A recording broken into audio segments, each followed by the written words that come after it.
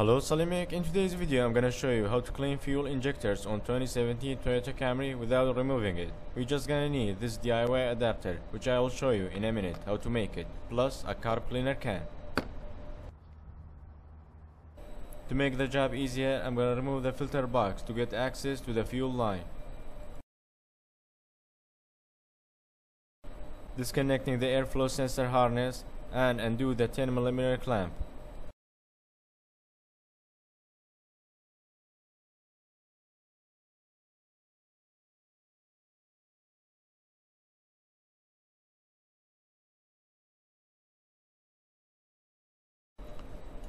After removing the throttle hose, I'm gonna put a glove on the throttle so I don't accidentally drop anything inside the throttle. Now for removing the fuel line, take the cover off, put a rag under the fuel line for absorbing dripping fuel. We need fuel line disconnector tool. You can find it on Amazon but I designed and 3D printed my own. This is a 316 inch 8mm fuel line disconnector.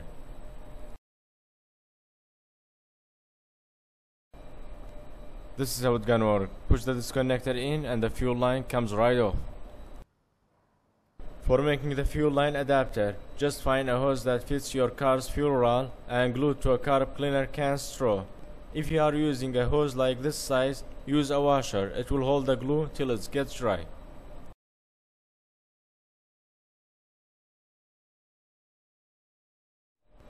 I'm also gonna use a hose clamp since it will be under pressure.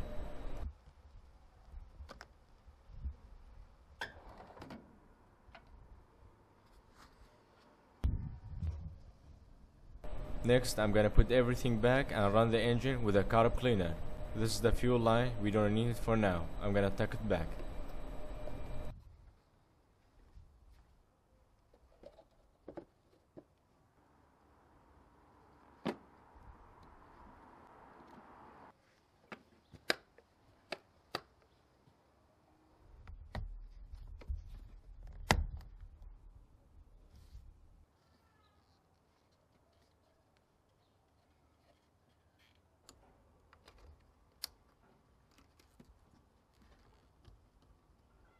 After putting back everything on the engine, we're gonna disconnect the fuel pump because we don't need fuel for now. We will run the engine with a carb cleaner. Disconnecting the fuel pump is very easy. Just remove the harness and we are good to go.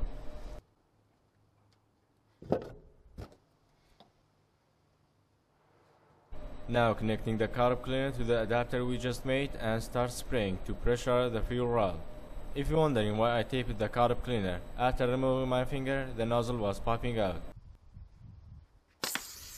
The tape will hold the nozzle from popping out.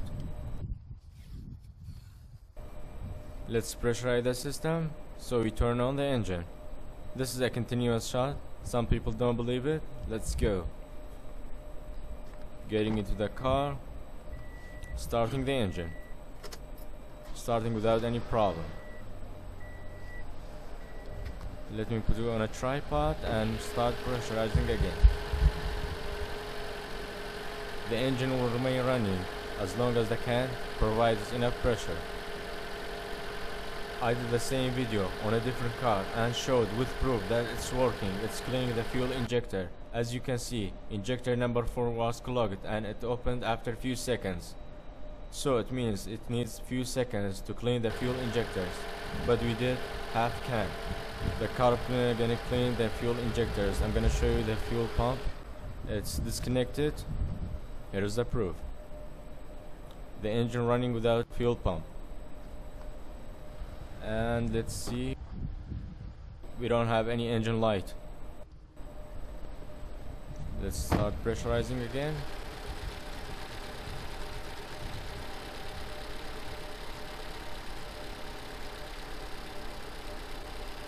whenever you see the engine shaking turn off the engine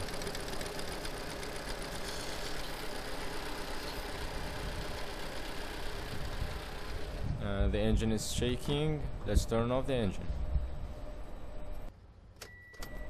now we need to remove the adapter and put the fuel line back Be careful when you remove the carb cleaner because it's still pressurized. Just don't point it to your face.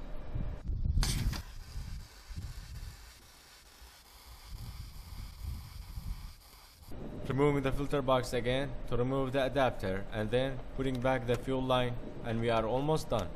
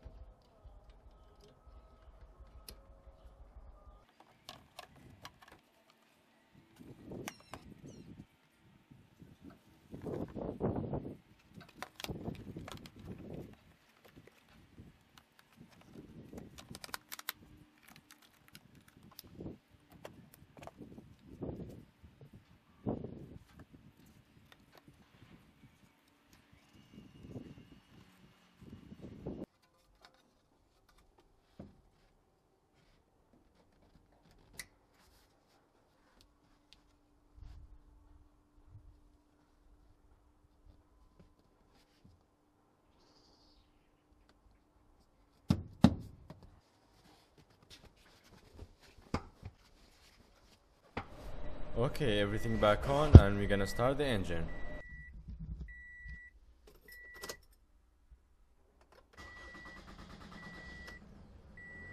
The reason the engine started a bit late because we removed the fuel line. You won't have that problem again.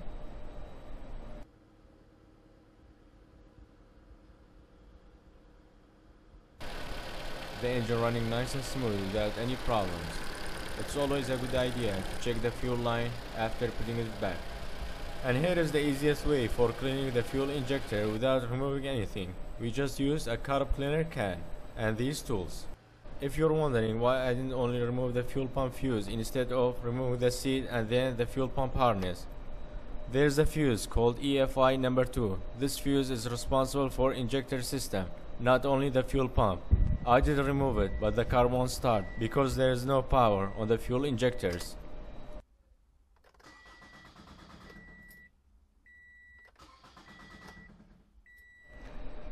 So that's it for this video. If the video was helpful, like and subscribe if you haven't already and I will see you in the next one. Bye for now.